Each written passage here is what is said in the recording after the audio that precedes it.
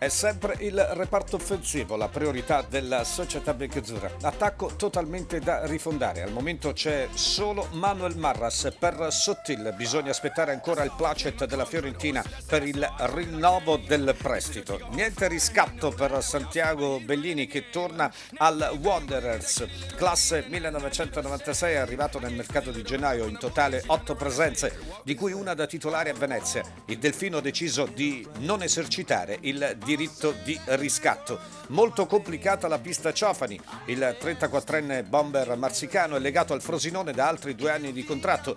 Chiaro in merito il DS Repetto che ha usato un'iperbole per rendere l'idea.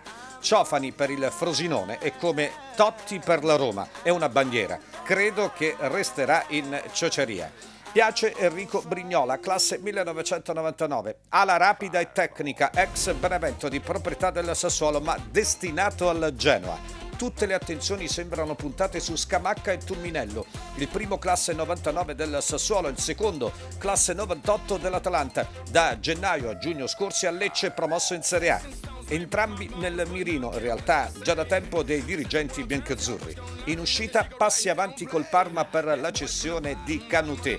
Cambia la formula, prestito con obbligo di riscatto. Il club ducale non è interessato a Brugman. L'ennesima conferma arriva dal DS della società emiliana Daniele Faggiano, che al nostro sito ha ribadito Brugman è un ottimo calciatore, ma non siamo interessati in quel ruolo Cestulac sul quale abbiamo investito tanto. Juventus Benevento, incontro ieri per Leonardo Mancuso. 19 gol e 4 assist nell'ultimo campionato disputato col Pescara. Mancuso è controllato, lo ricordiamo, anche dal Pescara. Il club campano, che ha ufficializzato per la panchina Pippo Inzaghi, prova a battere la concorrenza di Empoli e Verona.